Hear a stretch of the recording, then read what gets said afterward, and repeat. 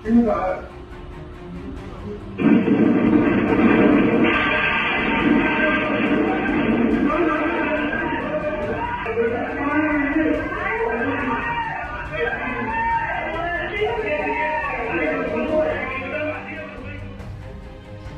ਦੇ ਵਿੱਚ ਬਲਾਸਟ ਹੋਣ ਦੇ ਕਾਰਨ ਪਤੀ, ਪਤਨੀ ਅਤੇ ਇੱਕ ਗਵਾਂਢੀ ਦੀ ਦਰਦਨਾਕ ਮੌਤ ਹੋ ਗਈ ਹੈ। ਦਰਅਸਲ ਜਾਣਕਾਰੀ ਅਨੁਸਾਰ ਕਿਹਾ ਜਾ ਰਿਹਾ ਹੈ ਕਿ ਚਾਹ ਬਣਾਉਂਦੇ ਸਮੇਂ ਇਹ ਹਾਦਸਾ ਵਾਪਰਿਆ ਹੈ। ਹਾਲਾਂਕਿ ਜੋ ਕਿਹਾ ਜਾ ਰਿਹਾ ਹੈ ਕਿ ਪਹਿਲਾਂ ਤਾਂ ਇੱਕ ਔਰਤ ਦੇ ਵੱਲੋਂ ਜਦੋਂ ਗੈਸ ਖਤਮ ਹੋ ਜਾਂਦਾ ਤਾਂ ਉਸ ਤੋਂ ਬਾਅਦ ਦੇ ਵਿੱਚ ਸਟੋਰ ਦੇ ਵਿੱਚ ਪਏ ਸਿਲੰਡਰ ਨੂੰ ਜਦੋਂ ਲੈਣ ਜਾਂਦੀ ਹੈ, ਤਾਂ ਉਸ ਦੇ ਵਿੱਚ ਹਲਕੀ ਹਲਕੀ ਗੈਸ ਲੀਕ ਹੋ ਰਹੀ ਹੁੰਦੀ ਹੈ। ਤੇ ਜਿਵੇਂ ਉਹ ਆਪਣੇ ਪਤੀ ਨੂੰ ਦੱਸਦੀ ਹੈ, ਤਾਂ ਪਤੀ ਮੌਕੇ ਦੇ ਉੱਤੇ ਪਹੁੰਚਦਾ ਹੈ, ਤਾਂ ਜਾਂਦੇ ਸਾਰ ਜਦੋਂ ਗੈਸ ਜ਼ਿਆਦਾ ਲੀਕ ਹੋਣ ਲੱਗ ਜਾਂਦੀ ਹੈ, ਤਾਂ ਘਰ ਦਾ ਮੇਨ ਸਵਿੱਚ ਹੀ ਜੋ ਬਿਜਲੀ ਵਾਲਾ ਉਸ ਨੂੰ ਬੰਦ ਕਰ ਦਿੰਦਾ ਹੈ, ਪਰ ਅਚਾਨਕ ਹੀ ਸਟੋਰ ਦੇ ਵਿੱਚ ਹੀ ਸ਼ਾਰਟ ਸਰਕਟ ਹੋ ਜਾਂਦਾ ਹੈ। ਸਰਕਟ ਦੇ ਕਾਰਨ ਚੰਗਿਆੜੀਆਂ ਨਿਕਲਦੀਆਂ ਨੇ ਗੈਸ ਲੀਕ ਹੋ ਰਹੀ ਹੁੰਦੀ ਹੈ ਤੇ ਅਚਾਨਕ ਹੀ ਸਿਲੰਡਰ ਦੇ ਵਿੱਚ ਅੱਗ ਲੱਗ ਜਾਂਦੀ ਹੈ। ਜਿਸ ਤੋਂ ਬਾਅਦ ਕਿਹਾ ਜਾ ਰਿਹਾ ਹੈ ਕਿ ਮੌਕੇ ਦੇ ਉੱਤੇ ਹੀ ਉਹਨਾਂ ਦਾ ਗੁਆਂਢੀ ਵੀ ਪਹੁੰਚਦਾ ਹੈ। ਗੁਆਂਢੀ ਵੀ ਜਦੋਂ ਹਾਲਾਤਾਂ ਨੂੰ ਦੇਖਦਾ ਹੈ ਤਾਂ ਦੋਵੇਂ ਮਿਲ ਕੇ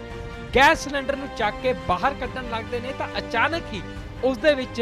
ਜ਼ਬਰਦਸਤ ਬਲਾਸਟ ਹੋ ਜਾਂਦਾ ਹੈ, ਜਿਸ ਤੋਂ ਬਾਅਦ ਚੀਕ ਚਿਹਾੜਾ ਪੈ ਜਾਂਦਾ ਹੈ ਤੇ ਬਲਾਸਟ ਦੀਆਂ ਇਹ ਤਸਵੀਰਾਂ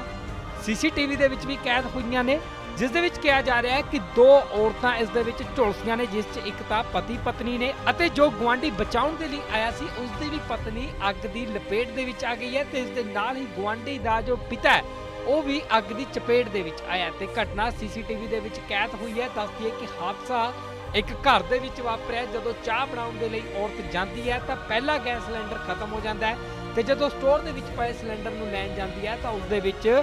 ਗੈਸ ਲੀਕ ਹੋ ਰਹੀ ਹੁੰਦੀ ਹੈ। ਤਾਂ ਦੱਸਦੀ ਹੈ ਕਿ ਉਸ ਤੋਂ ਬਾਅਦ